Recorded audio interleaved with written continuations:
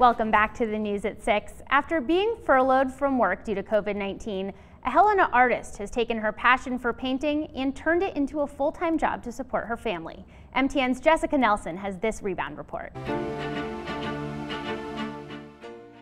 This we're all a little isolated, and um, that's kind of how I've been with doing this and raising my kids. So I've kind of always I've, I've always had a little level of that and that's that's kind of how van gogh felt i mean he was he was very lonely in isolation. Jessie Wise grew up in Helena and began painting when she was a young teen.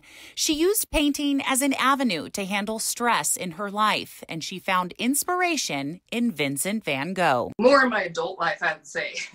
He's become more relevant, and I've related to him on a lot of levels. And and it's just such a sad story, but you know it's it's history and and it's it's beautiful that everyone can come together recognizing this image people who don't know you know and it's it's exciting because that's what he would have wanted when the coronavirus pandemic hit, Jessie was furloughed from her job. She went through a difficult divorce, and despite her family asking her to leave her art behind, she pressed on. These helped me get through that big time. You know, I've never left my town, so it's it's a blessing and a curse sometimes, but uh, it's home and I don't ever want to leave.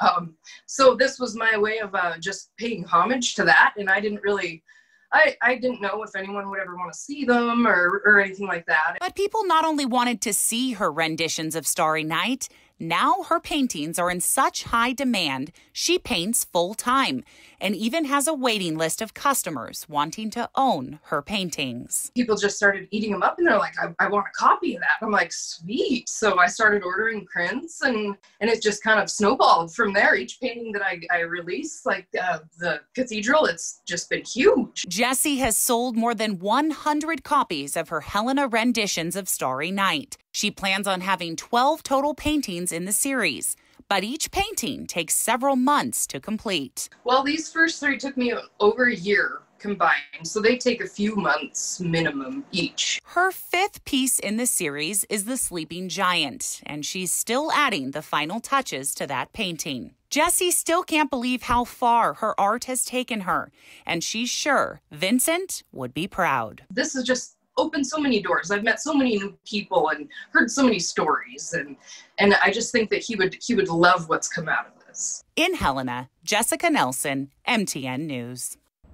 Jessie has recently been hired by the Civic Center to design pieces of art for their green room renovation. And to see more of Jessie's art, check out this story on our website, ktvh.com.